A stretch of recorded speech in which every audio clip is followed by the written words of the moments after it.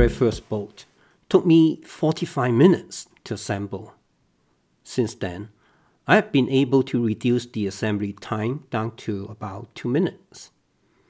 I have been considering 5 or less minutes for assembly is good enough. Now, this modular boat took me only 30 seconds. I'm surprised this would make such a big difference in the user experience by shortening the assembly time. The first assembly step is to insert the stern module onto the front module. And then I insert the PVC pipes onto the gunnel.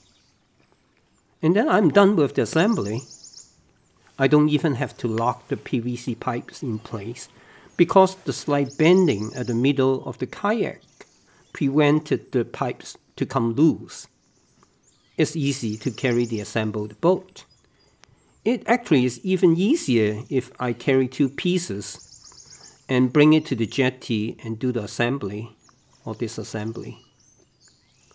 There's always an uneasy feeling when I first sit on a new boat. This boat is 27 inches wide and I'm also sitting a bit higher. I expected the stability will not be that great when compared with my other boats which are usually 29 inches or more in width.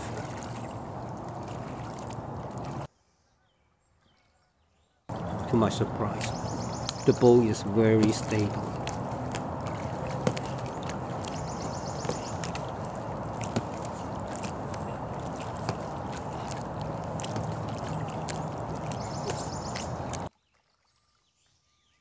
When compared with my other foldable boats, this boat is very okay. rigid and it is very easy to get in and out of the boat.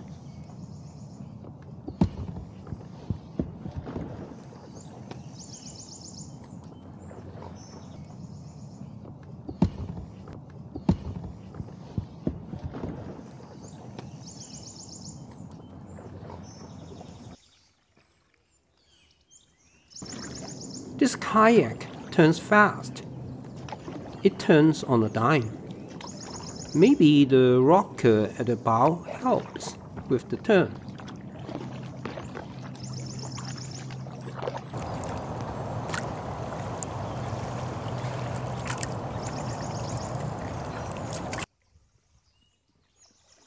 The bottom of this boat is flat and I haven't done anything to enhance its tracking capability.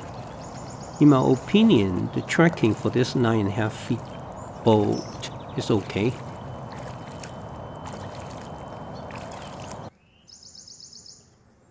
I built a few boats under 10 feet long. This by far is the fastest one. It is always fun to paddle a faster boat.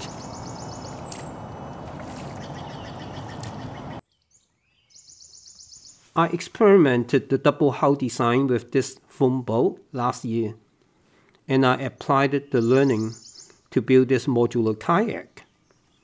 Water is allowed to leak into the inner hull of the boat. If I build this boat again, I will use different materials to reduce the gap to 1 inch wide. The double hull modular design creates a very reliable boat because the sharp folded corners don't have extra stress due to folding and unfolding. Very similar to my other foldable boats. You will have to drain the water trapped inside after each use. But this doesn't present me a problem because I will let the boat to drain itself on the patio overnight. I would say this is a successful experiment and there are also many areas for improvement. I will make a video to highlight how I built this boat and what improvements can be made.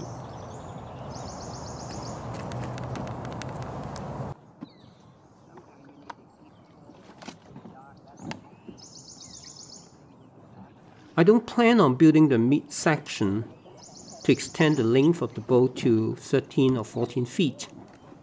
Instead, I will use the learning to build a 13 and a half or 14 feet long seat inside kayak modeled after this Point 65 Mercury GTX Solo. I plan to have the bow section be stored inside the middle section of the boat, just like this 0.65 boat. And this will be my winter project. Another thing I like about this boat is I can sit high, just like a canoe, and I like the sitting posture. Thanks for watching and also following my journey in building this boat. Now on to my next design. If you like my videos, please give me a thumbs up and also appreciate if you support me by subscribing to my channel. See you again. Bye bye.